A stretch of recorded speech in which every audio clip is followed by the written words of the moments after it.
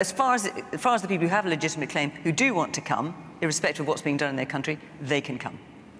It, look, it, I So just it's millions don't of think people. It's It's where, Carla, where are we going to put millions of people who've got a legitimate claim in your eyes, and then when they're denied a claim, which is obviously going to happen, and therefore they continue to come across the boats, what do we do then? You've set up your safe and legal routes, which, by the way, we've already got some safe and legal routes. Only for a couple then of if, nationals. if they get rejected and they still come across the waters, what do you do then?